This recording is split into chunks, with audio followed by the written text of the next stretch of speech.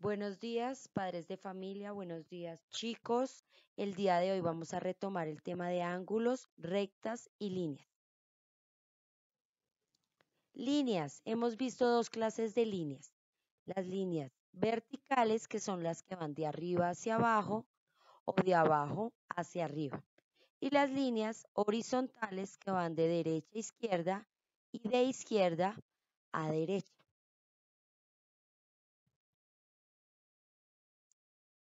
Iniciamos a ver también ángulos y vimos tres clases de ángulos. El primero de ellos es el ángulo recto. Este mide 90 grados. ¿En qué objetos de mi alrededor puedo ver un ángulo recto?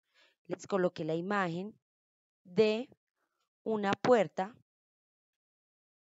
la cual, en la cual, perdón, podemos observar en cada esquinita que se forma un ángulo recto, un ángulo de 90 grados.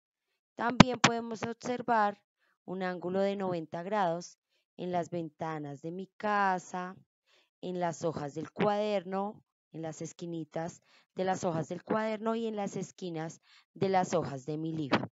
Allí puedo observar ángulos rectos. El segundo es el ángulo agudo. Este mide menos de 90 grados.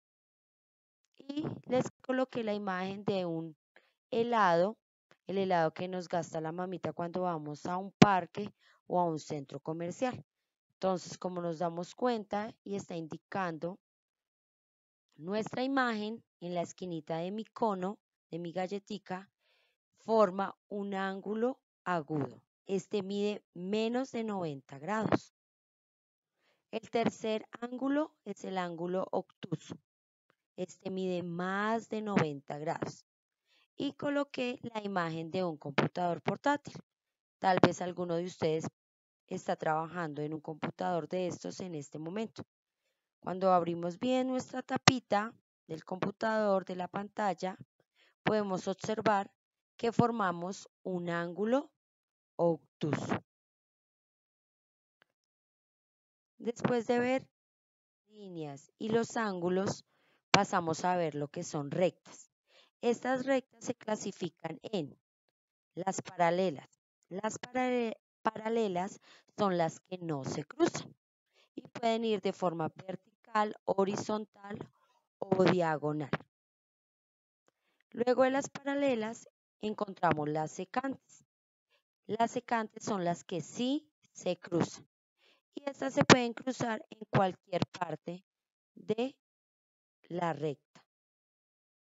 De las secantes encontramos las rectas perpendiculares, porque también se cruzan.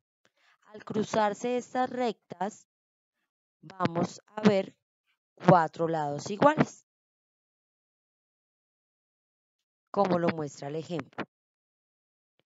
Al cruzarse estas dos, rectas, vemos los cuatro lados iguales y también podemos observar que forman cuatro ángulos rectos que los hacíamos con los deditos de nuestra mano, como nos indica la canción, que ahorita vamos a practicar.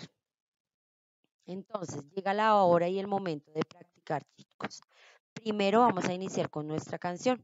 Yo les voy a dejar el link de la canción a sus papitos para que ustedes se las enseñan y puedan practicar en casa la canción.